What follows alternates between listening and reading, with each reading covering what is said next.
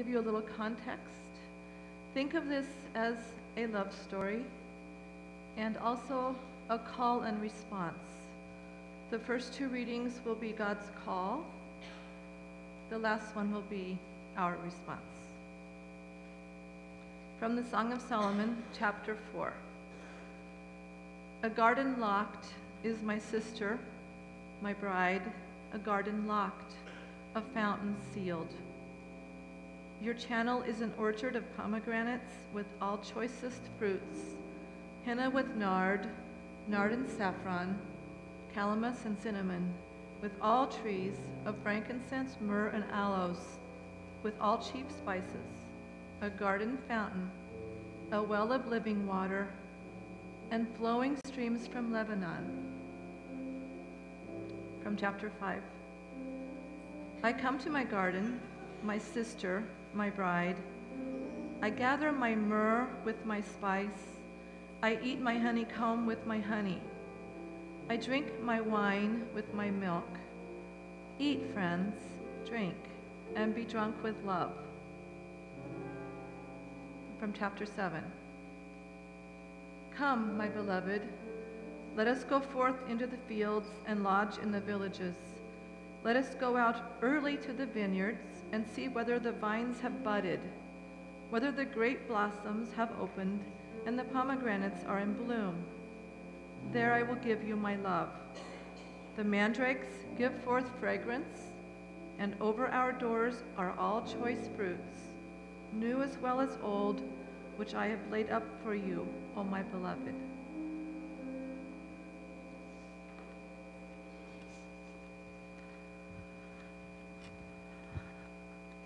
Slide, please. Okay, fess up. How many of you knew there was a book called the Song of Solomon's in the Hebrew Bible? Really? Wow. You know, that happened at 9 o'clock too. Here I thought I was confessing something really great that everybody would feel good about because they did it too, and I think I'm the only one. When I first had to preach on the Song of Solomon for the first time, which isn't this time, it was before, I didn't know that Song of Solomon was its own book. So much for the education system, right? I probably heard it somewhere, but I always thought of the Song of Solomon as being a part of another book, kind of like the Song of Miriam and Moses, which is in Exodus 15, right? Song of Miriam and Moses is not its own book, it's a part of another book. Or the Magnificat, the Song of Mary, right? That's found in the Gospel of Luke. See, education's kicking in now, right? Right. So that's how I always thought of the Song of Solomon, is that it was a part of another book. So when I went to go find it, I looked in First Kings. That's where it should be, right? That's all about Solomon. He was a king. It's a Song of Solomon, First Kings. It wasn't there. I had to go look it up, and I thought found out that it is indeed. Can you do the next slide? Part of the Hebrew Bible. In fact, it's the 22nd book of the Hebrew Bible. It's a small little book of eight chapters, and it's snuggled down in between Ecclesiastes and the really big prophetic book of Isaiah, which is why it gets lost all the time, right? Um, it is the very last of what the Hebrew Bible considers wisdom literature in its writings. It is, that includes books like Job and Proverbs and Psalms and Ecclesiastes. And now you know the Song of Solomon is also there. It's also called the Song of Songs. Um, can you go to the next slide? And when we say uh, it's the Song of Songs, what, it, what the Hebrews are trying to say by that is that it's a really amazing piece of literature right? It is the best of the best, the song of songs, the God of gods, right? It's the very best. And that's how they treat it. It is, it is this love story that is astounding and astonishing, very much a part of their traditions in the, in the Jewish traditions. The, it was written originally in Aramaic and not Hebrew, actually, which is how the only way actually we can try and date when it was written because um, if it was written in Aramaic, it's likely that happened after the Babylonian Empire or the exile that happened in the 6th century BCE. And so, uh, because of its style and the way it was written as a big piece of poetry, Um, it kind of sounds like some other poetry that was written in the third century BCE, so that's where they've placed the origin. Uh, we have no idea who the author is or why it was written, but it is presumed that it was written to be like a play or a rite that is performed during some kind of ritualistic um, ceremony like worship. Next slide, please. It's very unique in the type of literature that it is because it's not like the rest of the books that are previous to it in the wisdom literature. It does not try to teach you anything, it does not give you any kind of um, specific requirements for how you can live well in the midst of society. What it is, is a really long love poem that is a celebration of love in the world. There are two voices that it is written in, both of which that are on equal footing with one another, that speak to the yearning and the beauty of each one. The beauty that draws that yearning from one to the other. It's an exquisite love story. And it's people that are drawn together seeking harmony with one another. There is also a Jerusalem chorus, so to speak, that's there. That's a way to draw in the readers and um, the audience as being kind of overhearers of very intimate invitations. And it is one of those books that nobody really talks about, partially because it is a love poem, and sometimes people blush when they read it, right? Uh, because people whisper about it sometimes and talk about it as being something that you should blush at. Of course, the confirmation students go right down and figure out where it is, right? But the small groups won't talk about it at all. So, you know, there you have it. But it is unique literature, and it is just really exquisite. And it should be something that we do pull out every once in a while and celebrate it because it is a huge celebration of love. Next slide, please. For the modern day Jews, they use it as uh, part of the Sabbath celebration at Pentecost or at Passover. Um, they use it and interpret it as an allegory between the, of a relationship between God the Creator and all of Israel. Um, this wonderful, committed relationship of equal partners yearning to be and dwell with one another. Um, and the Christian tradition has then picked up on that allegory interpretation and, and expanded it a bit to include Christ and the church at large, right? kind of like that language we hear sometimes in the New Testament about bride and bridegroom, Christ and Christ church, right? So it's those marriage partners that we're talking about, that yearning to be with one another, to be in relationship with one another. Next slide, please. So now that we know a little bit more about the Song of Solomon, that it's its own book, about when it was written, what it was written for, and how it's being used even now as scripture in our times, Let's look at the um, text itself. Your channel is an orchard of pomegranates with all the choicest fruits henna with nard, nard with saffron, calamus and cinnamon, with all trees of frankincense, myrrh, and aloes, with all chief spices, a garden fountain, a well of living water, and flowing streams from Lebanon. Next slide. I come to my garden, my sister, my bride. I gather my myrrh with my spice.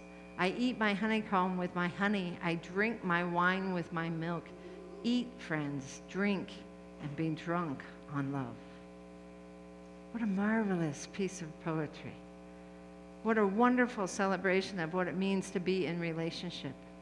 It's a grand use of the lushness of fruits and cinnamons, the richness of the smell, and all that is wonderful and abundant in life. This is God's conversation with creation. The beauty and the majesty and the mystery of which God created the world comes through in this poetry. This is a grand feast, a meal that celebrates love, and we're all invited to be a part of it because we are the reason for it. All of creation, you and I, humans and non humans alike, are all part of God's delight and God's beauty in the world. And this is how God is imagined being in relationship with us, with all of creation in spoken word that invites us to participate in that love with the rest of the world. And through seeing ourselves through God's eyes, we're very much like a parent, perhaps, seeing the world through our children's eyes or having our children see themselves through our eyes. How we love them, how we cherish them, how there is a celebration of love and relationship between us. That kind of relationship is a compellingness that draws us out of ourselves and has us participate with all the rest of the world in a way that reflects the love in which we were created. So, by participating with how God views us in the world, we become that which is, in fact, God's delight and God's beauty in the world. Next slide, please. Does it sound like paradise? Flowing waters, living waters, flowing streams, the land of milk and honey from Canaan. All of that language is part of creation language. And God saw that it was good. That's the celebration of love. That's what God is trying to invite us into and have us dwell together with God as we participate and help co create all that's around us. But can we see that beauty? Can we see that love and that relationship that dwells in what, how God sees us? Or are we not able to understand that anyone, especially our Creator who knows us inside and out, could possibly love us that much? Oftentimes we deny that or we reject God's image of us just when it's getting really wonderful because we get caught up in our own understandings of where our weaknesses are, where we lack something, instead of seeing ourselves as God sees us, full of wonder and beauty and majesty. Next slide, please. We're going to hear some music. And as we're listening to some music, I would really like for you to spend some time considering these questions. Where do you actually see the world as God sees it? The beauty and the wonder. Where do you see the world as God's delight? And how then are you called by that vision to share the love that you experience? How does that open you up to be a part of somebody else's life, both giving and receiving the love that God shares with each of us.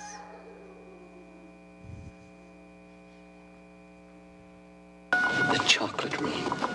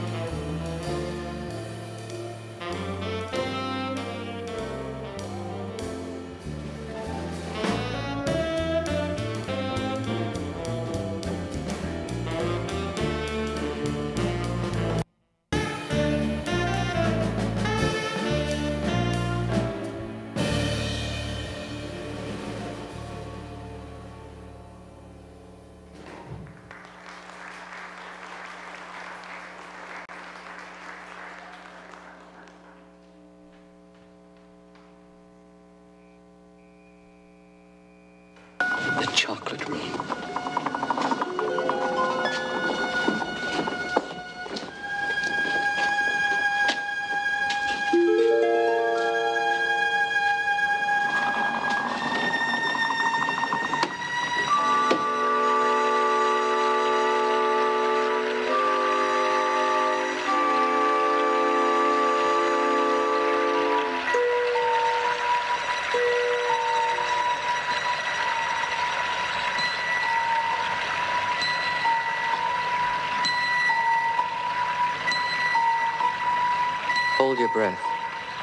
Wish. Count to three. Come with me, and you'll be in a world of pure imagination. Take a look, and you'll see into your imagination.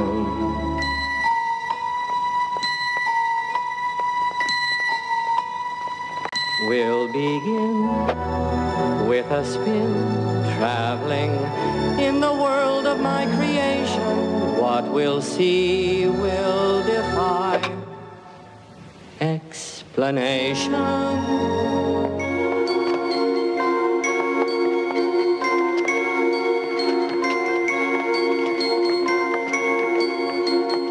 If you want to view paradise, simply look around and view it.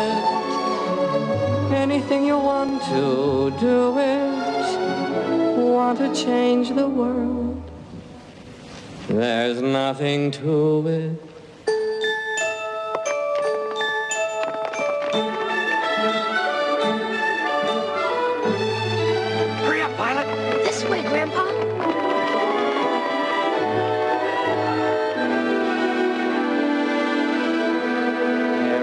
No life I know to compare with pure imagination. Living there, you'll be free if you truly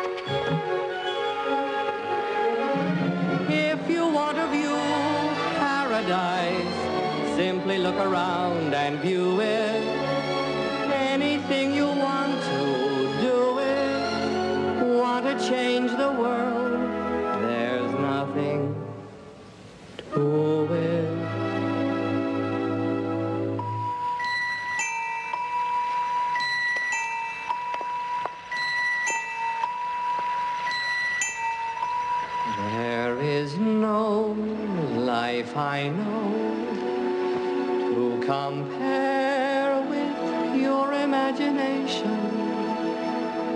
Living there,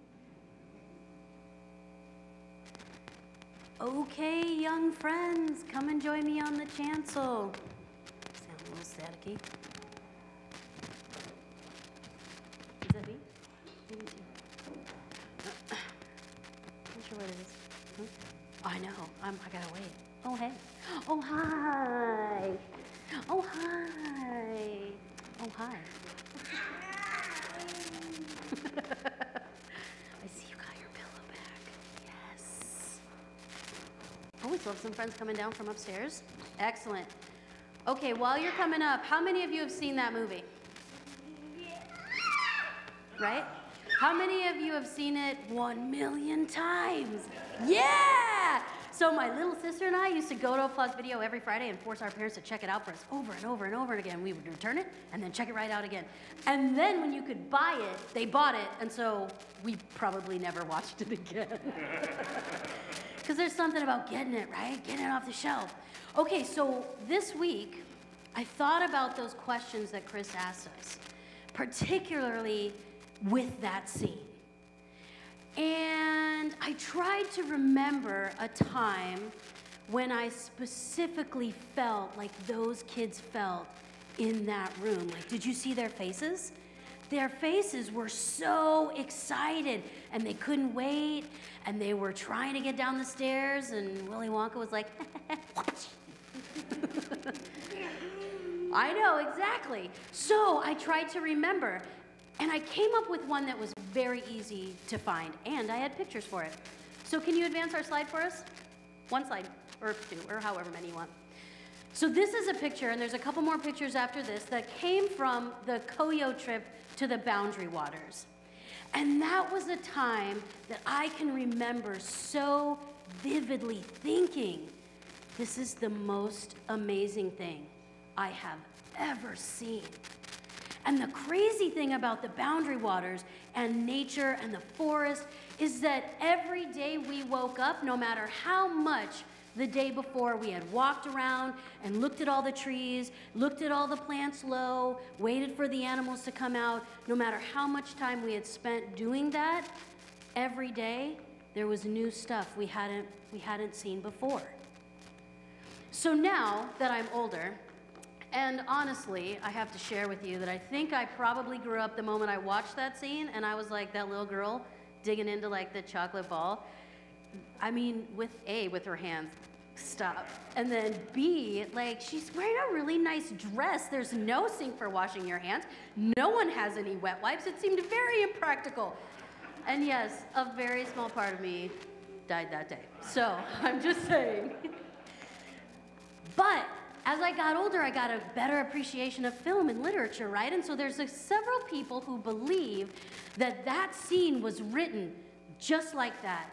And then the film people depicted it just like that. And I don't know if you know this or not, but Willy Wonka has a remake that came out in the early 2000s. And that scene from that movie is even more like actual nature. Like they're drilling into the chocolate dirt of the earth to break it off to put it into the river to start mixing it up. Like they deliberately do that. And so some people believe that it was written like that on purpose so that as we grow, we try to maintain those eyes so that when we see trees and they're not made of candy, we're not like, oh, this is the worst. But we're able to keep those eyes where we see things and we're like, I've never seen this before. This is so cool.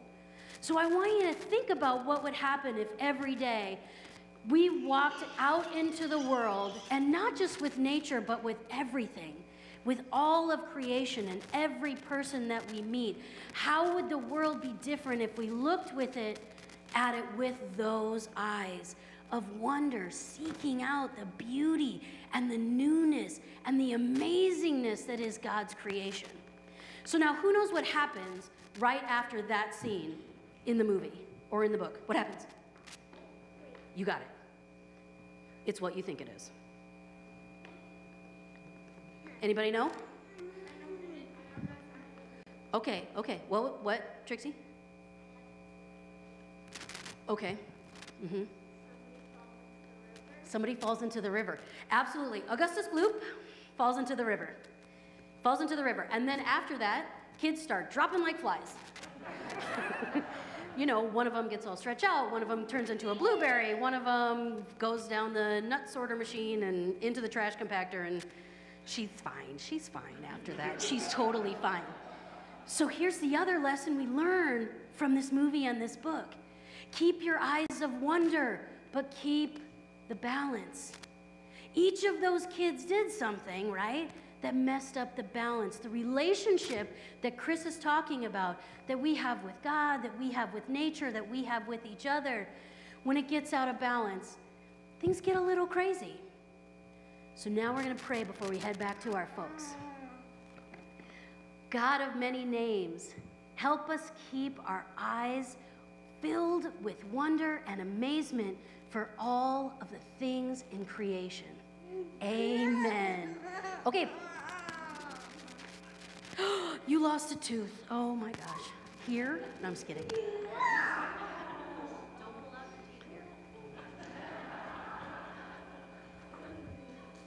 Slides, please. So I got to say, if I were to walk in the boundary waters, I wouldn't get that same feeling that, that Rebecca has.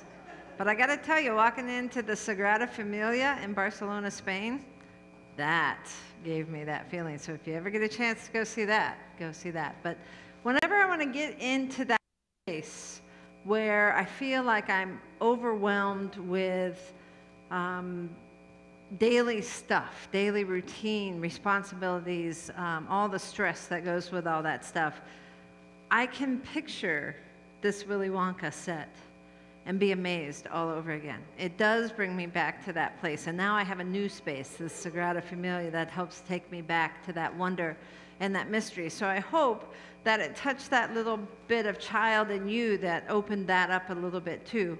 Because that is what we're asking of you today is to be able to see the world through God's eyes, to be able to take an intentional walk that looks specifically for beauty and wonder in the world. So from now on, and even before this, right, we were all walking around as if we have just walked in to Willy Wonka's chocolate factory. And we're all amazed all the time, and we always see the beauty, right? Well, not always, right? What about your Facebook screens? Are those always wonderful, happy occasions? Are they always things that celebrate love? Hmm, probably not. At least not as often as they could be. Right? Next slide, please. Instead of the wonder and the mystery, oftentimes we're smacked in the face with images of children being separated from their family at the border. Or in Syria, families running for their lives, looking for anything in front of them that would act as a shield or protection against the ravages of the war that they live in. Next slide, please. We see images of whales that are washed up on the beach because they've ingested too much plastic, which we throw away. Or glaciers that melt in front of our eyes because we have reached that point of global warming where there is no reversal. And so the waters are accelerating as they rise and threaten life as we know it. And the sun that I used to celebrate every spring when I could go outside in short sleeves and feel the warmth of the sun on my arms. What a fabulous feeling that was. Now I have to wear hats. And the sun is a threat to my skin for burning, for cancers. Those are the things we see so often instead of the beauty and the wonder. We're not even close to seeing each other or the world with God's eyes. Next slide, please. So that's my challenge. I'm wondering have we gone too far? Are we not capable now of being able to see the world as God sees it? What are we doing with God's delight, God's creation in the world? If we see it only as despair, are we humans doomed to careen into destruction and taking all of creation with us? Or is there a way to reinstill that childlike wonder that we were given in creation, that God reaches out to us with in love and invites us to participate in that deep, committed relationship, that feast of love that God sets before us? How do we get that back? Next slide, please. Instead of pointing out each other's weaknesses or competing with one another, when are we going to get to a point where we can say to one another, if we admire something about another person, tell them. Get into the habit of lifting each other up, not tearing each other down. Don't look for the flaws, look for the beauty intentionally and see how that changes your mood and your actions. There is beauty left in the world, it is all around us. What it takes is intentional seeing, a change of vision, just shifting your perspective just that much to be able to wonder how God must see this. Next slide, please. There's a woman in our congregation named Donna Knudsen. Do you all know her? If you haven't met her yet, you should. She's not here today. but she does this amazing thing. She's one of these people that inspire me because she is intentionally committed to looking for beauty in the world. In fact, she's a writer. And on Facebook, she does a lot of blogs and a lot of poetry and a lot of writing. And at every end of her writing, she does a salutation that says, Beauty, comma, Reverend Donna. Beauty is her salutation. That's what she looks for. She posts pictures of flowers like this lily and this rose that she looks for every day. She intentionally goes out on a walk looking for beauty to start her day. When she sees you, she tries to imagine how God sees you so that she can greet you that way. She truly is astonishing. You think she'd walk on water, but she doesn't. The reason she's not here right now is because she is uh, preparing, if she hasn't already left yet, to go to Spain to do the Camino de Santiago, the pilgrimage walk there. She does not have a return ticket. So we all have to pray she comes back. but she's there looking for beauty. And she'll come back with a whole new perspective again that takes her deeper into that practice of being intentional about looking, about seeing with God's eyes. Next slide, please. And yesterday, I went to the Pride Fest at Baxter Arena, where I was surrounded by people who celebrated love, just like in the poetry. As I wandered around from booth to booth collecting my stickers and putting them all over me, and I had I gave my bracelets away already this morning to some of the children, but I had rainbow bracelets and I have some tattoos. Look at that. They survived the shower today. I was so impressed. It was an amazing energy that filled the room as I wandered around. I see all you guys who were there, you all shaking your head. The celebration of love in that place was just astounding people being who God created them to be and being content with being who God created them to be. Sharing in a relationship with people who they had never met before and became instant friends with. People who they had known forever but don't really spend enough time with. They took the time to stop and talk to one another. And the kids were smiling and laughing because there was color everywhere, rainbows everywhere, free stickers just for fun. We even gave away pretzels with icing on it at our booth. How great is that? I had two. It's a wonderful energy.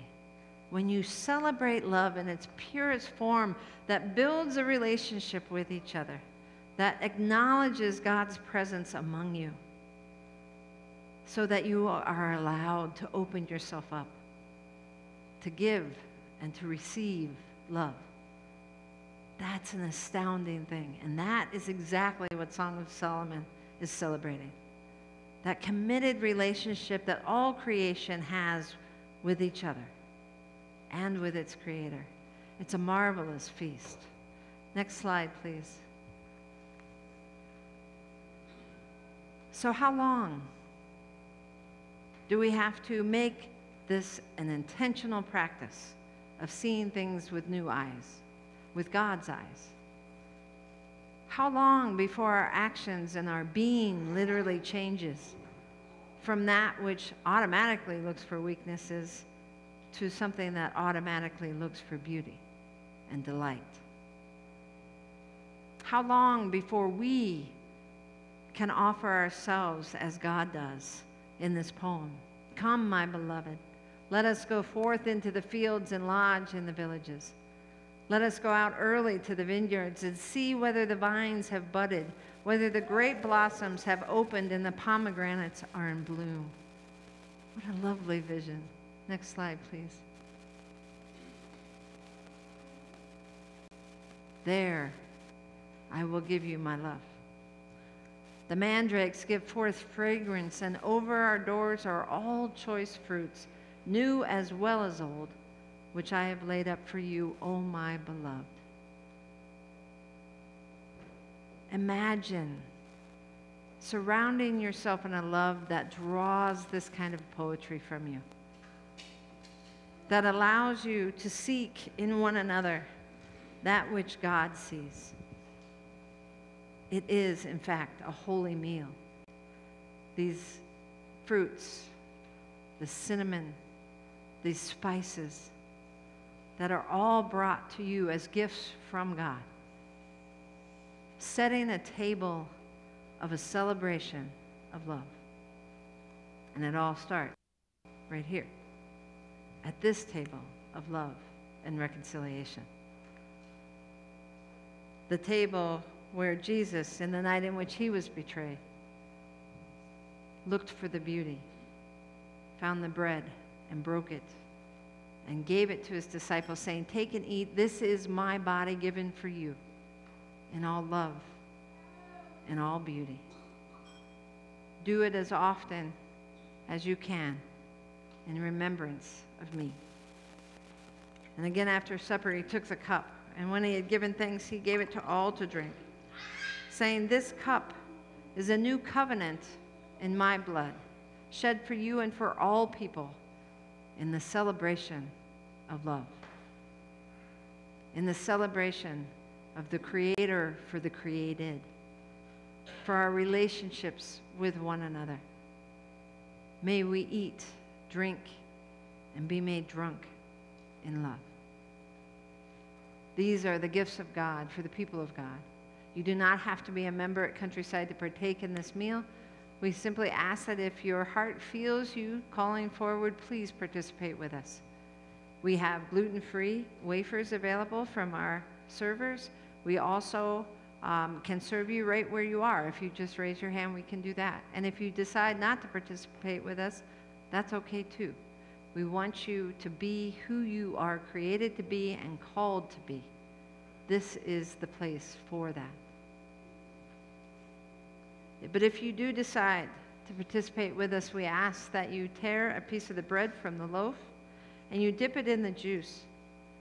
And as you take it into yourself, you imagine that pure imagination that allows you to see God's love in you and in your neighbor and in all of creation.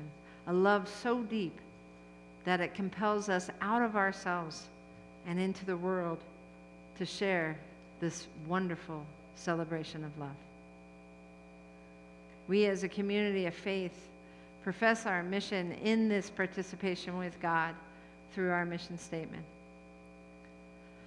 We, next slide, please. We are an inclusive, open, and affirming family of faith, welcoming all to God's table of love and acceptance. We are diverse, yet united by Christ's example. We care for one another, support one another, and challenge one another to become all that God creates us to be. We work together to nurture our community and to promote peace and justice in our conflicted world. These are the gifts of God for the people of God. I invite our servers forward.